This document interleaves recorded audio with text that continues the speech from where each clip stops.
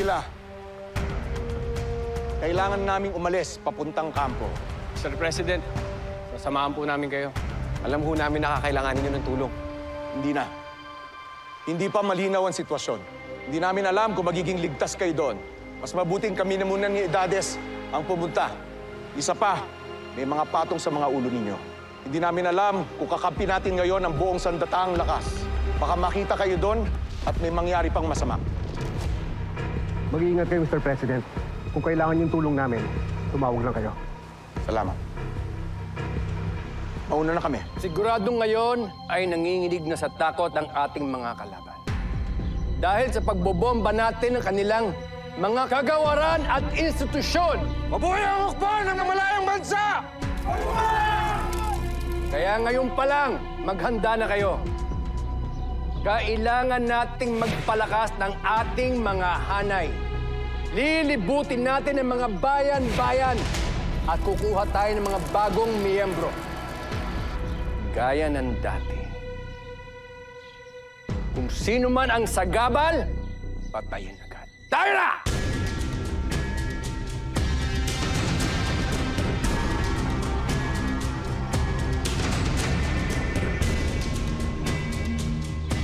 Wala nang ibang paraan kundi ang pakikipagkasundo kay Lucio Santanar. Masalimuot man ito, basta't maitawid ko lang, makakabuelo na ako laban kina Hidalgo at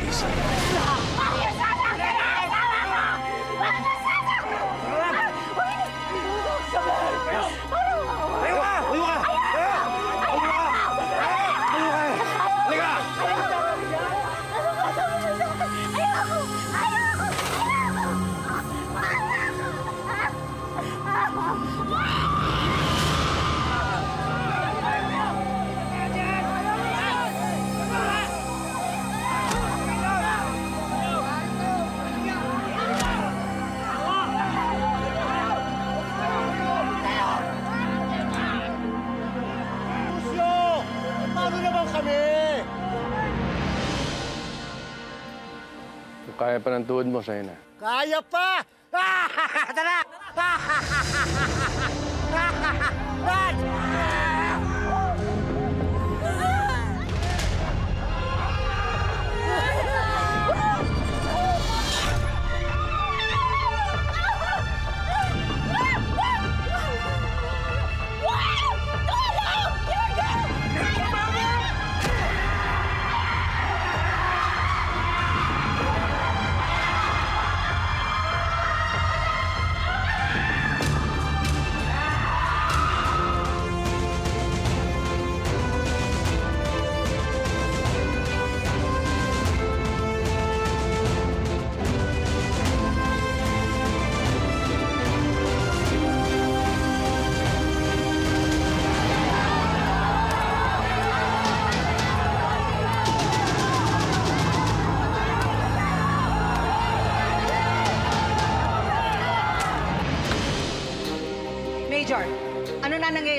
Dumarami ng mga sibilyan at reporter sa labas, madam.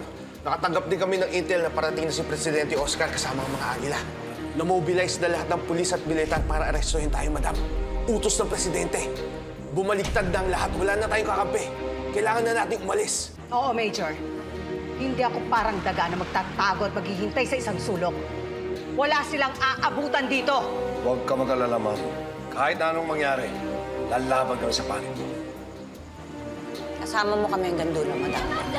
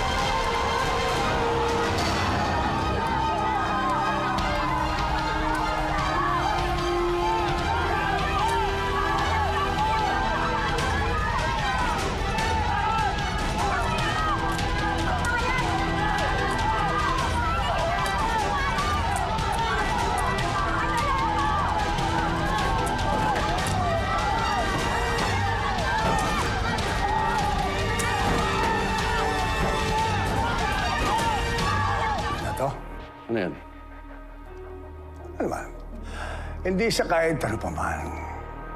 Katulad na lang ng naiambag kong bahay na to. Mga tauhan, mga armas. Hindi naman sa prindira kay Arturo. Ah, marami na ba siyang naiambag sa'yo? Puro lang siyang awa. Si isa na ibibigay na sa'yo. Ang gusto ko lang maintindihan at malaman kung bagdating ng araw, nagkagipitan. Ako sana ang papanigan mo.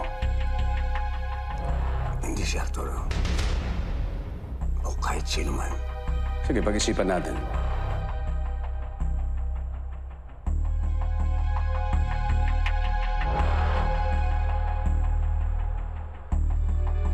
May punto si Eduardo.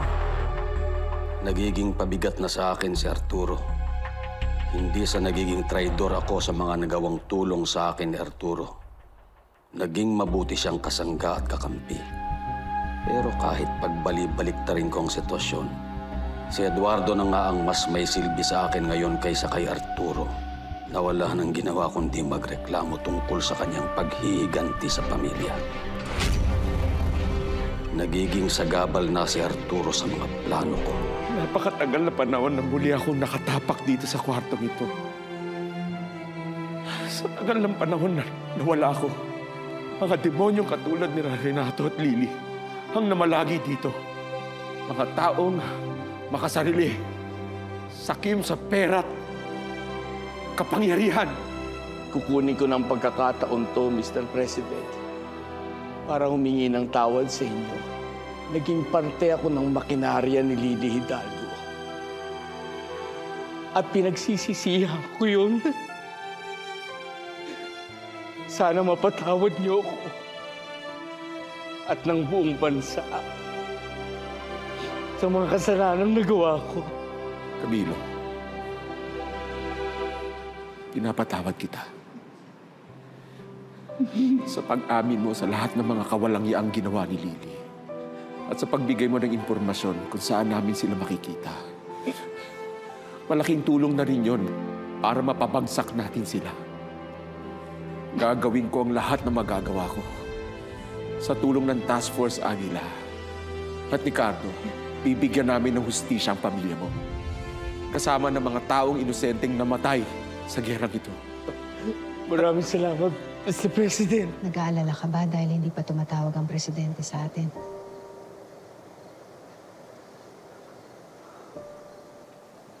Opo, General.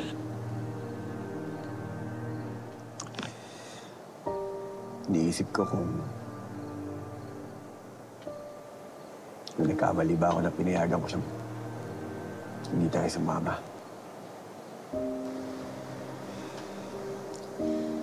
Aaminin ko, Cardo. Nag-aalala din ako. Pero kailangan natin magtiwala na hindi tayo bibiguin ni Presidente Hidalgo.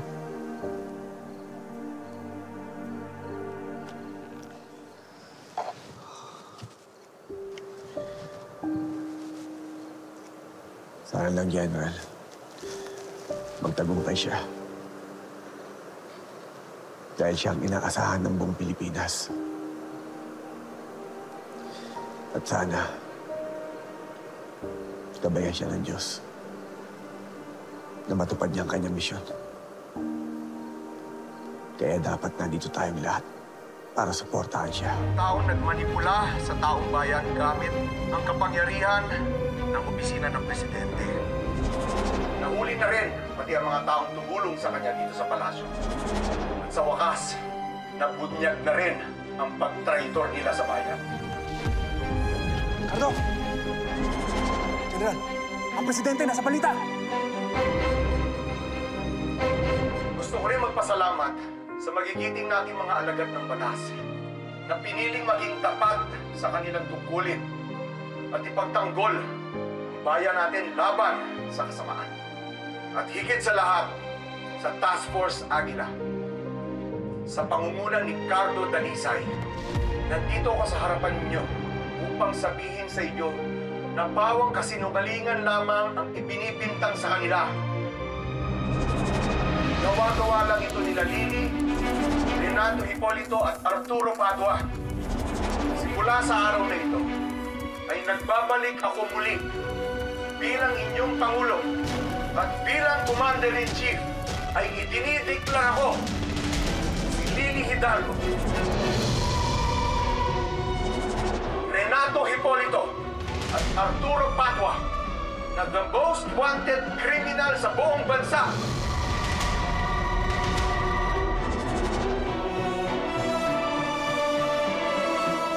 At inaatasan ko ang buong kapulisan at militar na isara lahat ng daungan at paliparan para hindi sila makatakas. Gusto ko rin sabihin sa inyo na kung meron kayong impormasyon na makuha tungkol sa kanila, ay makipag-ugnayan sa mga pulis para mahuli sila at magbayad sila sa batas. Renato, mapilit ka talagang tao ka. Hindi ka pa ba nagsawa? Mabuti naman at kilalang kilala mo pang pagkatao ko, Lucio. Hindi ako basta-basta sumusuko. Basta sa kapakanan ng ambisyon ko. Napag-isipan mo na ba yung iniaalok ko sa'yo? Inaamin ko, napukaw mo ang interes ko. Kahit magkita tayo, papadala ko sa'yo ang lokasyon kung saan mo ko pupuntahan. Siguruhin mo lang na masisiyahan ako sa pag-uusapan natin. Dahil wala akong panahon magsayang ng oras. Pinapangako ko sa'yo, Lucio, matutulungan kita sa ambisyon mo. Basta pag nagtulungan tayong dalawa, pare-pareho tayong makikinabang. Kailangan nating tawirin ang ilog na to para makarating tayo sa kuta ng hukbo ni Lucio. Sigurado ka ba na ito na talaga, hindi tayo naliligaw? Oh, maraming buhay dito. ah. Huwag kang maglala, Eduardo. May kasama tayong sanay lumusong sa mga ilog at sanay din maglakbay sa mga gubat.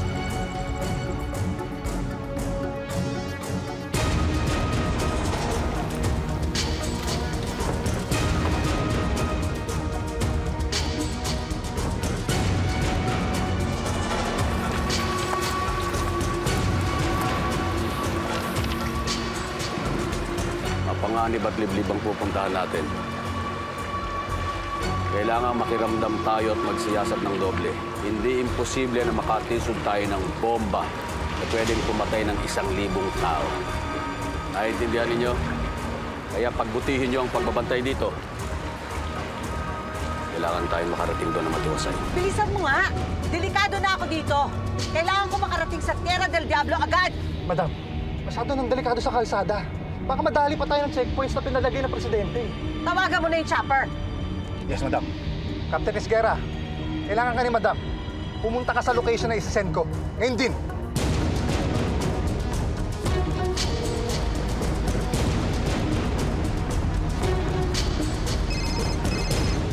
Madam. Major De Vela, mauna na ako sa Tierra del Diablo. Sige, madam. Kami nang bahala.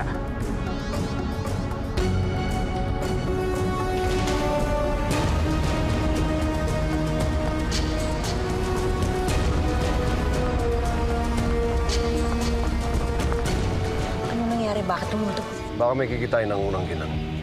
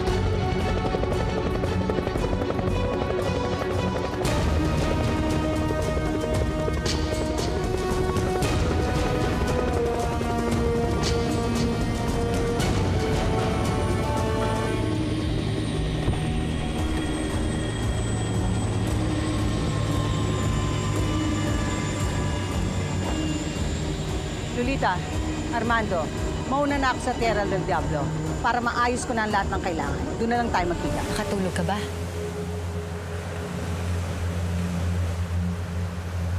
Alam ko na iniisip mo pa rin ang pagkamatay ni General Borja. Pero Cardo, sana maisip mo rin na sa nangyari ngayon sa presidente na nakabalik siya sa palasyo, kapag nahuli natin si Lily, malaki ang pagkakataon na mahuhuli din natin sina Armando at Lolita. Sana nga. Dahil kahit saan sila magtago, hahanapin ko sila. Hindi ako papayag. Na hindi nila pagbabayaran ang ginawa nila kay Lord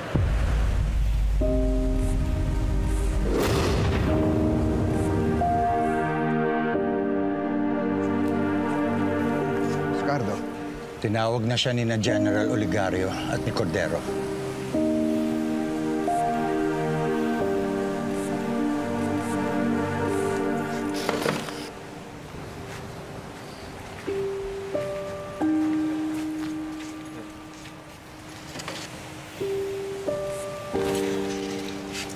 Ricardo, mukhang hindi ka pa nakakatulog ah.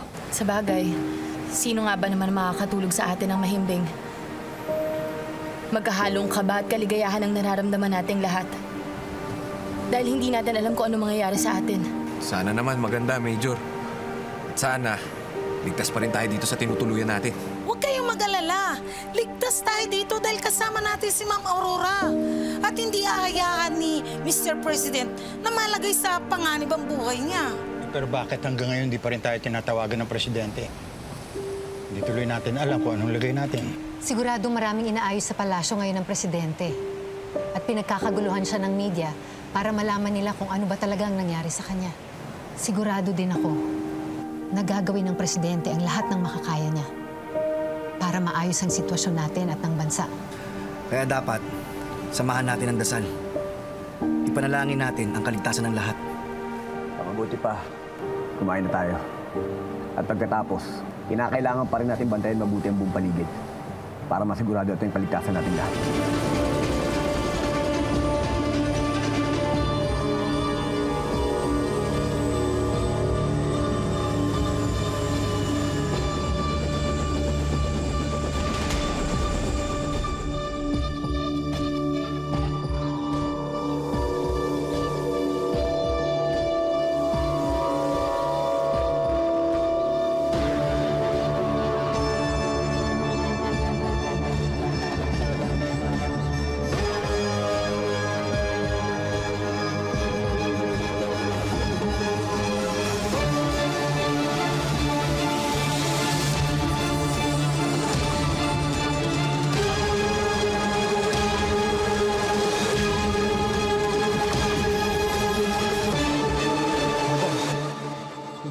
Akalain ni ganito pala kayo.